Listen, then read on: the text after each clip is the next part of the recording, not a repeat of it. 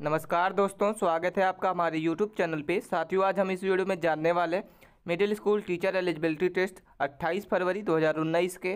साथियों, इसमें हम सामाजिक विज्ञान के क्वेश्चनों को डिस्कस करेंगे। सोशल साइंस में प्रीवियस ईयर में कौन कौन से महत्वपूर्ण क्वेश्चन पूछे गए थे, हम इस वीडियो के माध्यम से साथियों हम जानेंगे। तो आप वीडियो के अंत तक बने रहिए और आप चैनल पर पहली बार हैं तो चैनल को सब्सक्राइब कर लें साथियों। इसकी पीडीएफ अगर आपको चाहिए तो हमारे टेलीग्राम चैनल को ज्वाइन करके हमारी इस पीडीएफ को डाउनलोड कर सकते हैं। तो हम साथियों बिना स्किप किए चलते हैं इसके पेपर को सॉल्व करते हैं कि कौन कौन से महत्वपूर्ण क्वेश्चन आपके सोशल साइंस साथियों हम यहाँ से साइंस के महत्वपूर्ण क्वेश्चनों को जानेंगे कि कौन कौन से सोशल साइंस में आपकी एसएसटी में पूछे गए क्वेश्चन हैं। तो पहला क्वेश्चन आपके सामने दिख रहा होगा साथियों कि किसने कहा कि लेकिन लंबे समय में वह भूलना सभी के हित में होगा कि इस देश में बहुमत या अल्पसंख्यक जैसी कोई चीज़ है जो भारत में केवल एक समुदाय है ठीक है? ये क्वेश्चन आपके सामने लिखा हुआ है। ये आपको बताना कि इन सभी में से कौन कहा था? पहला नंबर लिखा हुआ है कि अब्दुल कलाम आज़ाद। बी नंबर आपका के एम मुंशी। सी नंबर आपका लिखा हुआ यंकन। और डी नंबर आपका सर लिखा हुआ है सरदार वल्लभ भाई पटेल। ठीक है? आपको साथियों इसका आंसर पता है तो हमें कमेंट करके ज़रूर बताइए। और आप लंबे कमेंट करके ज़रूर बताइए साथियों। और इसके पहले आपकी वीडियो नहीं देखे हैं तो हमारे प्लेलिस्ट के माध्यम से हमारे इसके पहले की वीडियो को देख सकते हैं। तो इसका सही उत्तर होगा साथियों, इसका करेक्ट आंसर होगा सरदार वल्लभ भाई पटेल, ठीक है? हम चलते हैं अपने सेकंड नंबर क्वेश्चन पे। सेकंड नंबर क्वेश्चन आपके सामने दिख रहा होगा कि माइक्रो टीचिंग जो है, वो सूक्ष्म सिद्धांत का एक चक्र है, ठीक है? माइक्रो टीचिंग का सर्कल क्या होता है साथियों? आपके सामने एक ऑप्शन लिखा हुआ है कि योजना, प्रतिपुष्टि शिक्षण और पुनः प्रतिपुष्टि, ठीक है? बी नंबर आपका है कि शिक्षण, प्रतिपूर्ति, पुनः शिक्षण और योजना, पुनः पुष्टि। सी नंबर आपका है योजना, शिक्षण, प्रतिपुष्टि, पुनः योजना और इसके पश्चात है पुनर्शिक्षण डी नंबर आपके सामने लिखा हुआ है शिक्षण पुनर्शिक्षण प्रतिपुष्टि और पुनः प्रतिपुष्टि। तो साथियों, इसका जो सही उत्तर होगा, वो आपका हो जाएगा योजना, शिक्षण, प्रतिपुष्टि प्रयोजना और पुनः शिक्षण इसका सही उत्तर होगा, ठीक है? माइक्रो टीचिंग का ये सर्कल होता है साथियों करेक्ट आंसर हो जाएगा। हम चलते हैं अपने थर्ड नंबर क्वेश्चन की ओर, और थर्ड नंबर क्वेश्चन हमारे सामने लिखा हुआ परियोजना विधि का प्रतिवादक होता है, ठीक है? आपका ए ऑप्शन लिखा हुआ है एफ़ फॉबेल बी नंबर लिखा हुआ है D W L N C number लिखा हुआ है जॉन डीवी और डी नंबर आपका लिखा हुआ है डब्ल्यू एच इंकिल पैटिक ठीक है? इसका जो सही उत्तर होगा ऑप्शन नंबर आपका फोर हो जाएगा साथियों। डब्ल्यू के किल पैट्रिक इसका करेक्ट आंसर होगा। हम चलते हैं अपने फोर्थ नंबर क्वेश्चन पे कि अठा पंद्रह में सम्राट अशोक हम्म, अठारह में अठारह सौ चौंसठ में साथियों सम्राट अकबर ने निम्नलिखित में से किस भेदभाव को समाप्त कर दिया था? तो जजिया इसका सही उत्तर होगा। पंद्रह में साथियों अकबर ने जजिया जैसे कर को क्या किया था? समाप्त कर दिया था इसका सही उत्तर होगा। ठीक है? हम चलते हैं अपने पाँचवें नंबर क्वेश्चन पे। पाँचवा नंबर क्वेश्चन है कि निम्नलिखित मेलों पर विचार करना है। इनमें से आपको बताना है कि इसका सही उत्तर क्या होगा, ठीक है? पहला लिखा हुआ अष्ट प्रधान। इन सभी में से क्या होगा साथियों, ठीक है? बी नंबर लिखा हुआ अष्टदिक। सी नंबर लिखा हुआ है नवरत्न और डी नंबर लिखा हुआ है स्थानीय स्व सरकार, ठीक है? इन सही में से सही क्या होगा साथियों, आपको बताना है कि इसमें से क्या होगा, ठीक है? तो पहला इसका ऑप्शन लिखा हुआ है कि साथियों, कि केवल एक, दो और चार इसका सही उत्तर है। केवल एक और तीन सही है, केवल एक, दो, तीन सही है या सब सही है, ठीक है? तो इसका जो सही उत्तर होगा, साथियों, केवल एक, दो और चार सही है, इसका करेक्ट आंसर होगा। ऑप्शन नंबर आपका ए सही उत्तर है, ठीक है? नेक्स्ट सवाल पे चलते हैं। छः नंबर क्वेश्चन हमारे सामने लिखा हुआ है कि निम्नलिखित शासकों का, उनकी राजधानियों का मिलान करें। पहला नंबर लिखा हुआ है कि मौर्य, ठीक है? मौर्य की राजधानी क्या थी साथियों? बी नंबर लिखा हुआ पल्लव। सी नंबर लिखा हुआ चालुक्य और डी नंबर लिखा हुआ कुषाण, ठीक है? तो इसका उत्तर क्या होगा? आपको बताना है कि पल्लव वंश की राजधानी कहाँ थी? मौर्य साम्राज्य की राजधानी कहाँ थी? तो इसके उत्तर की ओर चलते हैं और इसका उत्तर साथियों हो जाएगा। ऑप्शन नंबर आपका ई करेक्ट आंसर होगा, ठीक है? इसका सही उत्तर होगा। आप पहले का हो जाएगा मौर्य की जो राजधानी है, वो पाटलिपुत्र हो जाएगी। पल्लव वंश की राजधानी जो वो कांची हो जाएगी और चालुक्य वंश की राजधानी बदामी और कुषाण वंश की मथुरा, इसका सही उत्तर है, साथियों। हम चलते हैं अपने सात नंबर क्वेश्चन पे। डैश किसी भी क्षेत्र में छात्र के प्रदर्शन के अवलंकन के लिए बनाया गया स्टोरिंग टूल है, जिसमें पाठ्यक्रम, विषय पाठचर्चा संबंधी गतिविधियों और सामाजिक एवं व्यक्तिगत गुण शामिल हैं। इसका सही उत्तर होगा साथियों, इन चारों में से करेक्ट आंसर होगा। रूबिक इसका करेक्ट आंसर है, ठीक है? हम चलते हैं अपने नेक्स्ट सवाल पे और आठ नंबर क्वेश्चन हमारे सामने है कि अंग्रेज़ों, अंग्रेज़ी ईस्ट इंडिया कंपनी को डैश में समाप्त कर दिया गया तो अठारह इसका सही उत्तर होगा, ठीक है? अठारह में साथियों, ईस्ट इंडिया कंपनी को समाप्त कर दिया गया। नेक्स्ट सवाल पे चलते हैं। नौ नंबर क्वेश्चन है कि संजनात्मक संजनात्मक डोमेन में अधिगम का निम्नलिखित स्तर कौन सा होता है? तो साथियों, पहला लिखा हुआ है जान, बी नंबर लिखा हुआ है समझ, सी नंबर सृजन और डी नंबर आपका अनुपयोग तो साथियों, जो आपका संजनात्मक डोमेन का अधिगम स्तर होता है वह ज्ञान होता है, इसका करेक्ट आंसर होगा। ऑप्शन नंबर आपका ए नॉलेज इसका सही उत्तर है।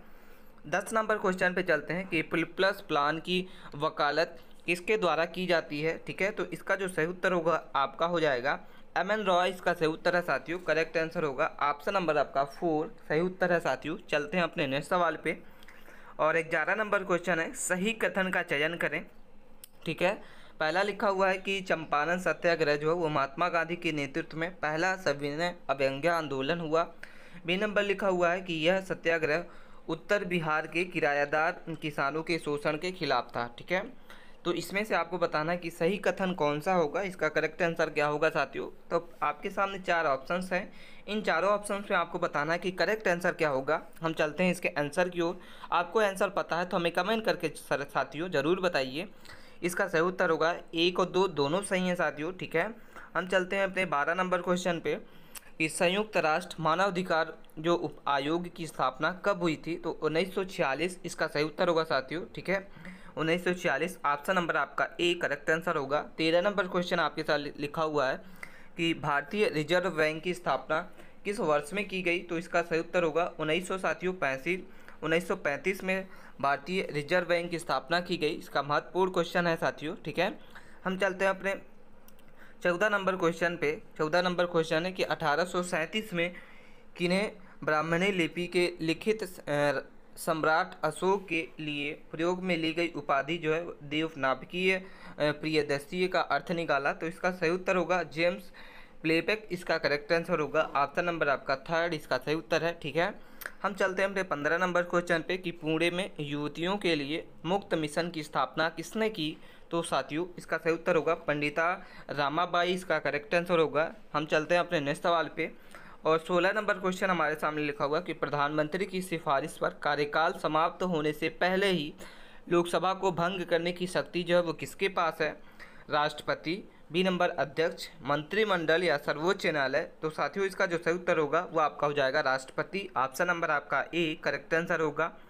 सत्रह नंबर क्वेश्चन पे चलते हैं कि पहले पल्लव वंश किस, वंश के सामंतक थे? तो इसका सही उत्तर होगा सातवाहक। इसका सही उत्तर होगा साथियों ऑप्शन नंबर आपका ए सातवाहन। इसका सही उत्तर है।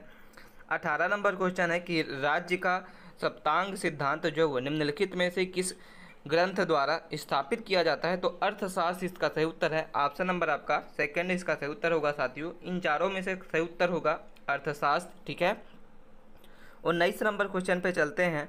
भारत सरकार के किस अधिनियम के तहत अनुचित व्यापार प्रथाओं में शामिल किया गया है? तो इसका जो सही उत्तर होगा, वो आज आपका हो जाएगा साथियों एम आर टी पी इसका सही उत्तर है, ठीक है? हम चलते हैं अपने नेक्स्ट सवाल पे। बीस नंबर क्वेश्चन हमारे सामने लिखा हुआ कि किस वंश के तहत मथुरा कला विद्यालय समृद्ध हुआ? तो इसका सही उत्तर होगा कुषाण। इसका सही उत्तर है साथियों, ठीक है? इक्कीस नंबर क्वेश्चन पे चलते हैं कि किस व्यक्ति को अपने मौलिक अधिकारों की सुरक्षा के लिए सर्वोच्च न्यायालय या उच्च न्यायालय में पहुँचने का अधिकार है? क्योंकि वे, आपका सही उत्तर होगा न्यायोचिक इसका सही उत्तर है, ठीक है? ऑप्शन नंबर आपका सेकंड हम चलते हैं अपने बाईस नंबर क्वेश्चन पे कि क्षेत्रीय समानता को बढ़ावा देने के उद्देश्य से द्वितीय पंचवर्षीय योजना के आधार पर डैश का गठन किया गया। तो इसका जो सही उत्तर होगा वह आपका हो जाएगा औद्योगिकीय नीति संकलन उन्नीस छप्पन। इसका सही उत्तर है, ठीक है? हम चलते हैं अपने तेईस नंबर क्वेश्चन पे कि भारत में पंचायत राज्य प्रणाली को अपनाने वाला पहला राज्य कौन सा था, ठीक है? तो आपको बताना है कि पंचायती राज प्रणाली को अपनाने वाला भारत का पहला राज्य कौन सा है? पहला लिखा हुआ महाराष्ट्र, मध्य प्रदेश राजस्थान और या आंध्र प्रदेश। इसका सही उत्तर होगा साथियों, राजस्थान इसका सही उत्तर है, ठीक है?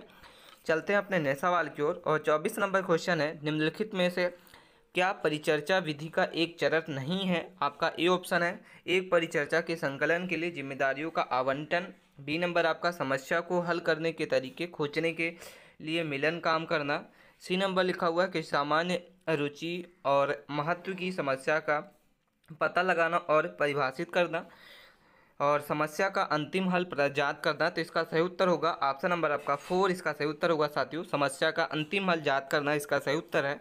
हम चलते हैं अपने पच्चीस नंबर क्वेश्चन पे कि किस वेद में गायत्री मंत्र शामिल है तो ऋग्वेद इसका सही उत्तर होगा साथियों, इसका करेक्ट आंसर हो जाएगा। छब्बीस नंबर क्वेश्चन पे चलते हैं। इंडो यूनानियों के अध्ययन के लिए सबसे महत्वपूर्ण प्राथमिक स्रोत कौन सा है? तो सिक्के इसका करेक्ट आंसर होगा साथियों क्वाइन ठीक है?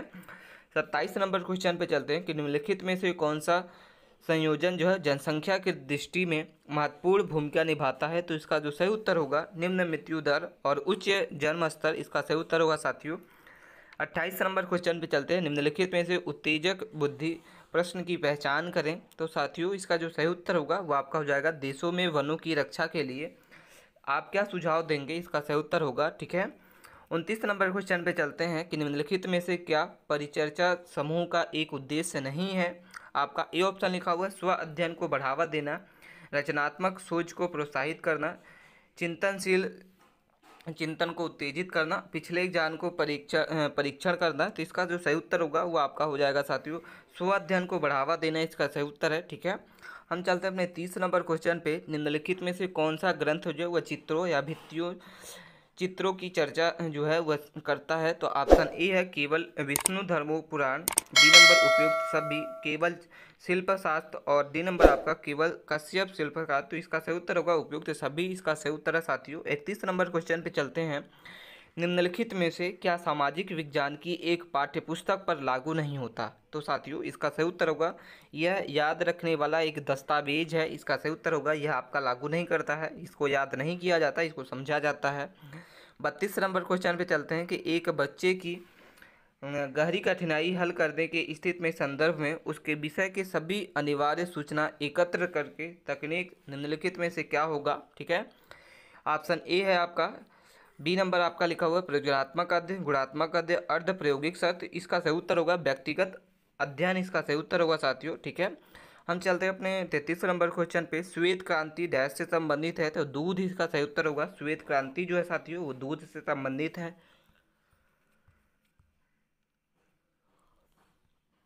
चौंतीस नंबर क्वेश्चन है किस आंदोलन के तहत अमीर जमींदारों या किसानों की भूमिहीन लोगों को ज़मीन का एक टुकड़ा दान करने के लिए कहा गया? तो इसका सही उत्तर होगा भूदान आंदोलन के तहत। इसका सही उत्तर होगा साथियों ठीक है? पैंतीस नंबर क्वेश्चन है कि ऊर्जा के पारंपरिक स्रोत को चुनिए। तो साथियों इसका सही उत्तर होगा प्राकृतिक गैस। इसका सही उत्तर ऊर्जा का प, जो पारंपरिक स्रोत है वो आपका हो जाएगा प्राकृतिक गैस ठीक है? हम चलते हैं अपने छत्तीस नंबर क्वेश्चन पे कि विधेयक को कानून में अधिनियुक्त करने में किसकी सहमति आवश्यक है? तो राष्ट्रपति इसका सही उत्तर होगा साथियों, ठीक है? इसका सही उत्तर हो जाएगा। सैंतीस नंबर क्वेश्चन पे चलते हैं कि किस आयोग में इस बात पर ज़ोर दिया गया कि आधुनिक दुनिया के विधि, सामाजिक संस्कृति और समस्याओं को हल करने के लिए समाज सामाजिक विज्ञान, दुनिया, आधुनिक दुनिया के औपचारिक और अनौपचारिक शिक्षा का एक महत्वपूर्ण हिस्सा बन चुका है। ठीक है? तो इसका सही उत्तर होगा साथियों, वो डोलेरस आयोग इसका सही उत्तर है, ठीक है? हम चलते हैं अपने अड़तीस नंबर क्वेश्चन पे कि डैश समाज को पुरुष प्रधान के रूप में चित्रित किया जाता है तो इसका सही उत्तर होगा पृथु सत्तात्मक, इसका सही उत्तर होगा, ठीक है? ऑप्शन नंबर आपका ए करेक्ट आंसर है। हम चलते हैं अपने उनतालीस नंबर क्वेश्चन पे। उनतालीस नंबर क्वेश्चन है कि संविधान में मौलिक अधिकारों को डैश द्वारा सभ्य दुनिया के साथ समझौता और हमारे लोगों के लिए प्रतिज्ञा के रूप में वाणिज्य किया जाता है तो इसका जो सही उत्तर होगा, आपका हो जाएगा डॉक्टर एस रासा एस राधा कृष्णन इसका सही उत्तर है, चालीस नंबर क्वेश्चन पे चलते हैं कि वायुमंडलीय उपकरण का एक उदाहरण है। इसका सही उत्तर होगा सेंटीग्रेड थर्मामीटर। इसका करेक्ट आंसर होगा, ठीक है? तो ये थे साथियों हमारे महत्वपूर्ण चालीस क्वेश्चन। आपको वीडियो कैसी लगी, हमें कमेंट करके ज़रूर बताइए। और अभी तक आपने चैनल को सब्सक्राइब नहीं किया है तो प्लीज़ चैनल को सब्सक्राइब कर लें। इसी तरीके से महत्वपूर्ण वीडियो देखने के लिए मिलते हैं हम नेक्स्ट वीडियो में। तब तक के बने रहिए। धन्यवाद।